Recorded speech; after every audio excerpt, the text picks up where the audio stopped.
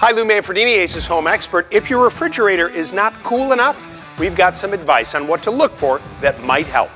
If your refrigerator is not keeping cool, one of the things that you can try yourself before you call a repair service is to empty the fridge and unplug it for at least six hours and try and defrost the unit. They can become clogged with ice over time, and if you remove all the food, put it into a cooler, and then open up the fridge and allow it to stay unplugged and not operating for at least six hours, then you can plug it back in and see if the unit then gets to temperature where you want. If it doesn't, then you may need the help of a repair service. And that's it. If you'd like more advice, please go to our website, acehardware.com, and follow us on our YouTube channel.